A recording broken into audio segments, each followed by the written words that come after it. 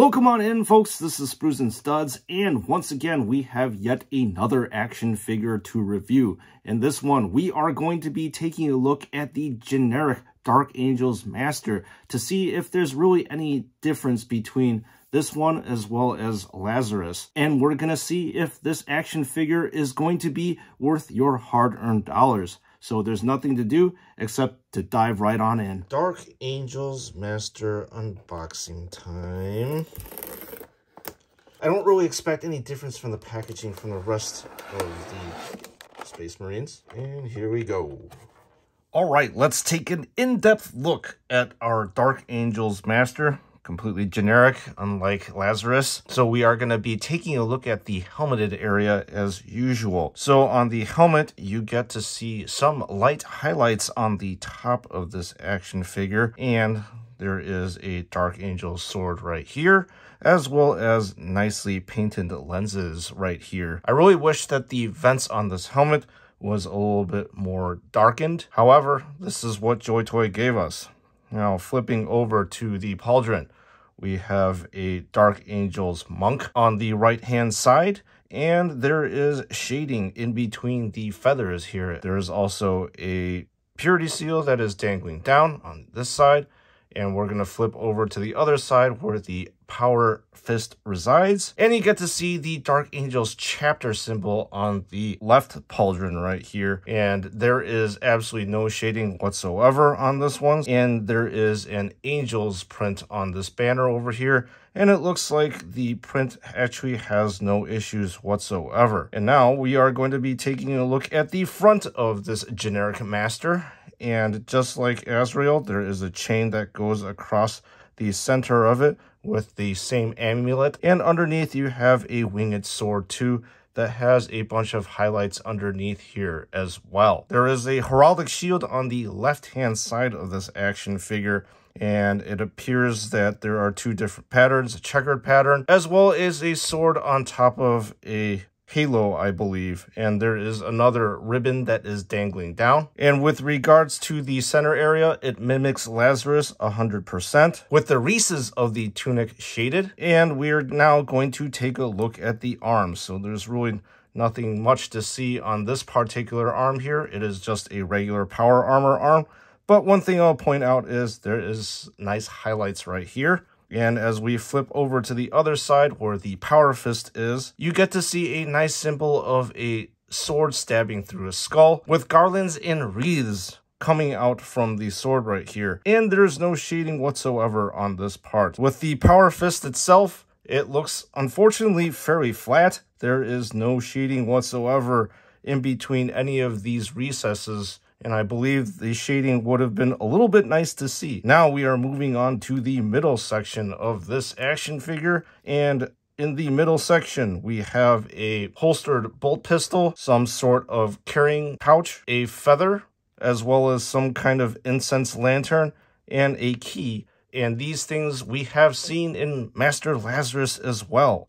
This dagger here, again, is fully functional. You can pull it out of its sheath and as you can see, it looks 100% like Lazarus's dagger. And you can also see a Dark Angel's tome right here on the left hand side. Now looking at the tabard itself, there is some light shading over here and over here as well.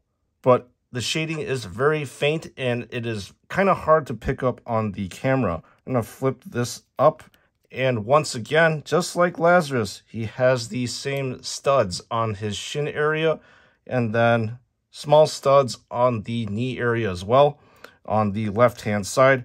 Same thing with the skull. Now we're going to flip over to the other side here, taking a look at the tabard in the back. More of this light shading and then flipping this up. Really nothing much to see except these nice light highlights up top. So we're going to put this master down and take a look at the weapons that come with him. The first is this power sword, which I believe looks completely like Lazarus's as well. You have the characteristic dark gunmetal color transition all the way up to the light silver, two blue color power nodes on one side and one on the other side, and a skull winged hilt, which is very cool.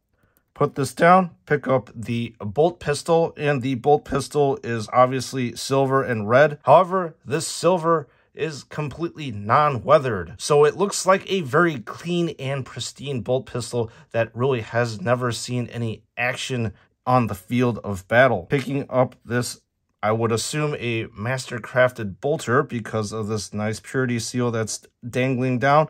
Once again, just like Master Lazarus, you have a red, black, and silver tone that is on this particular bolt rifle. Flipping over to the other side, it is pretty much the same thing, except that there is a Dark Angel sword here. And once again, I will comment on this bolt rifle is completely clean with no weathering whatsoever, so it looks kind of flat. Put the weapons down, we'll go over on this side and take a look at the cape. And once again, the cape is a nice, gorgeous purple color with highlights that are on the highest points here. And then as you flip around to the other side, unlike Lazarus, this embroidery is simple looking, only that it has red lines that are running on the outside edges of this cape. And there also is some very light shading here in the recesses. It almost looks like it's kind of dirty, but that's what the shading looks like. Put this down, and then we're going to take a look at the backpack. And the backpack also has the winged skull sword with this halo on top. There are no highlights in between the feathers here. Flipping over the other side, that is also the same case. With regards to the rest of this backpack, there are these spikes that are on top on each side of it. And the rest of it, once again, looks 100% like Lazarus's. The final thing that we're going to be taking a look at is this guy's face. And the biggest thing that you're going to notice is that he has some deep scarring that's running on the right-hand side of him, which would probably explain the existence of his bionic eye. The bionic eye is actually really nice looking in that it's got a lens that has nice depth and detail to it, which means that it's been undercoated a silver and highlighted a translucent red. The eyes themselves have a piercing stare, and it looks like it's was screened on fairly nicely. He's got these studs on top as well. He's sporting a frowny face, and I will have to say that most of the regions on this face lack any kind of shading whatsoever.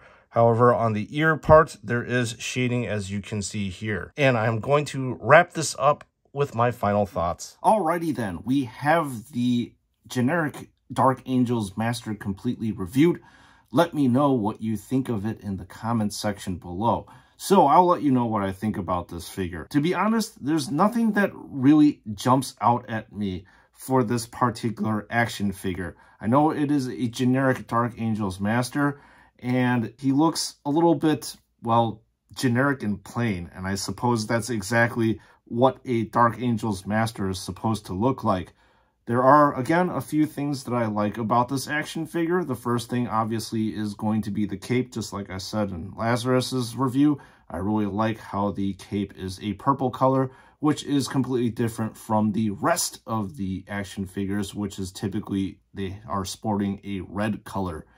And then the other thing that I also like is the face sculpt too. I'm not sure and I don't remember if this is more of a generic one too, but I think that this one has a lot of character, especially with the scarring. And because of that scarring, that's the reason why he is rocking a bionic eye. So the question is, should you get this action figure? I'm going to say that obviously for Dark Angels fans, uh, this is going to be a must get for you. However, with just regular action figure collectors that aren't fully invested in the Dark Angels, maybe I would probably give this a pass. I would probably pour my money into Lazarus, to be honest, because obviously Lazarus is a named special character, and he's got that really cool looking helmet with the wings, as well as that really cool pauldron on his left-hand side.